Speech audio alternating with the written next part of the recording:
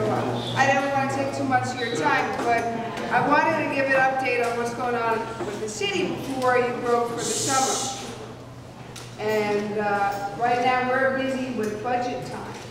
You know, I chair the Fire and Criminal Justice Committee. and Not surprisingly, but factually, the mayor, once again, is trying to close fire companies.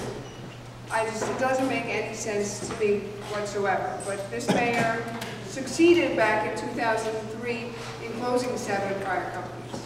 When we close even one, response time increases to life-threatening emergencies, not just fires, could building collapses. Most of the times it's medical emergencies, but even sometimes we have to still remember we're still the number one target for terrorists, more so than any other place. And that's why it doesn't make any sense to cut our public safety services. So you have my promise, and the council, not just myself, but the speaker and all the council members have been united on this issue of keeping our fire companies open. The other area in the budget that the, the mayor continuously goes after is libraries. He wants to cut funding. Our libraries are cut to the bone. And you know, you're, you're in Maspeth Library, or you're, if you get a chance, you go over to, the, I know they're under renovation right now, Elmhurst Library, but our libraries are used by people of all ages. And their kids go there school. Uh, many people, especially in this time of economic uncertainty, look for a job opportunity by using the resources there. And our seniors go after, you know, just to, to read, and uh, they need to stay open, they need to stay fully funded, not cut back the way the mayor is currently planning on cutting them back.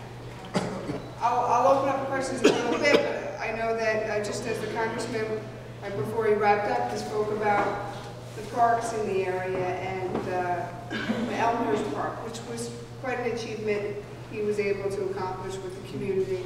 And it is important to get more green space for Elmhurst, for Maspeth, and our neighborhoods. Um, He did mention that within the park, there's area for a future Vietnam memorial. And and I wanted to give a brief update because the end of this month, there's a moving memorial that's coming to Juniper Park. And that's a, a special one, so it's a Vietnam memorial. And I encourage everyone to go visit. You can always contact my office for more information, but it'll be there for about two weeks. And uh, right around the 4th of July, to please take the time to go visit the memorial. That a lot of planning was put into place by the Middle Village Chamber of Commerce to, to bring the memorial to Juniper. Elizabeth, what about uh, the proposed park for 61st and Maspeth Avenue? What's going on with that? There, that's, what was that called, Martin Luther? So, right now, Martin Luther says they want to wait until after their graduation to continue discussions with uh, the city of New York.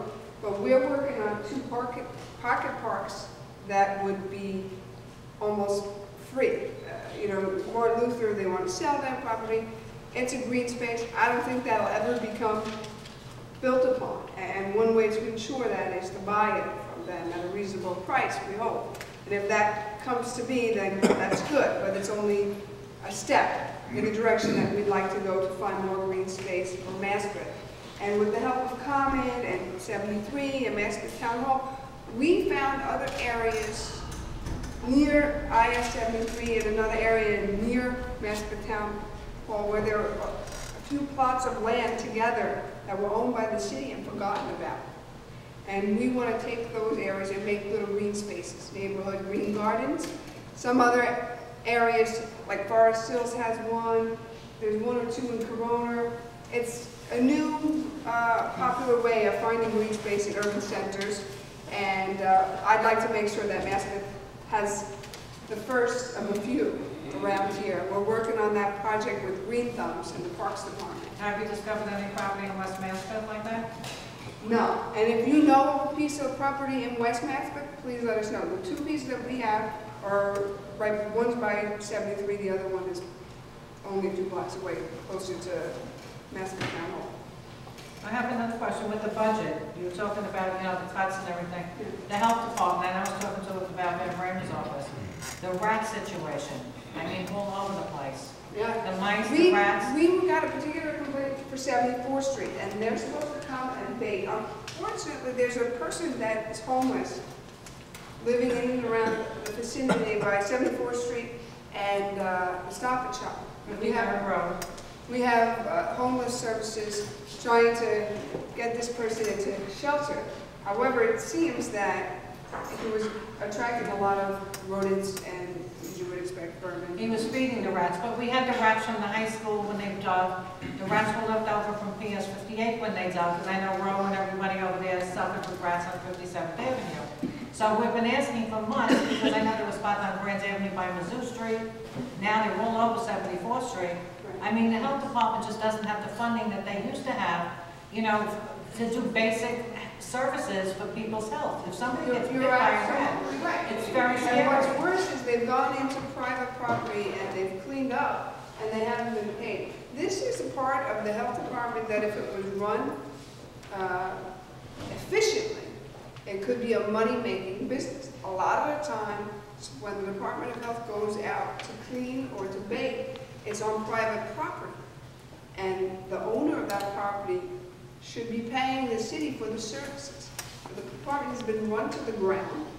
I've addressed this issue with the mayor's office. I've introduced a resolution and a series of bills, but they haven't been heard yet, and I introduced them over a year ago. Our health committee is very busy, and it hasn't been a, a priority to the administration. It's unfortunate, it's not right, and it's impacting our quality of